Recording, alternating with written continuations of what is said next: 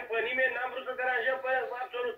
Nu are niciun drept, niciun partid politic să, să, să, să urce în cărca fermieri români sau să le afilieze fermierul român care este un om dus la biserică, un om cu o credință extraordinar de mare. Nu ne trebuie niciun partid politic alături de noi, nu suntem de acord să vină nimeni alături